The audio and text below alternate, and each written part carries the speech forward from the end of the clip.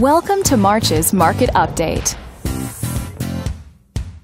Sherri, your trusted real estate agent, thought you'd find this information helpful and is ready to answer any questions about the local market.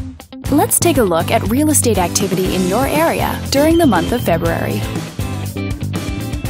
The number of active listings was up 4% from one year earlier and up 4% from the previous month. As you can see, the median listing price for the month was just under $470,000.